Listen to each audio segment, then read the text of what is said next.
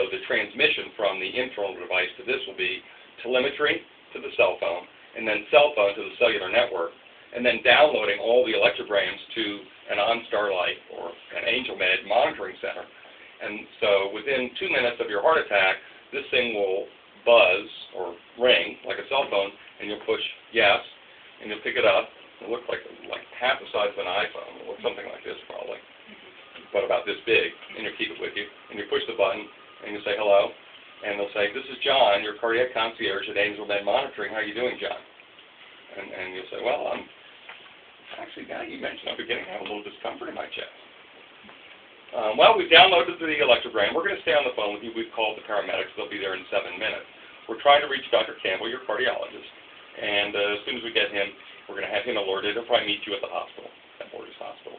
And, you know, based on what we're seeing, he's probably going to want to do a heart cath. Is your wife Beth at home?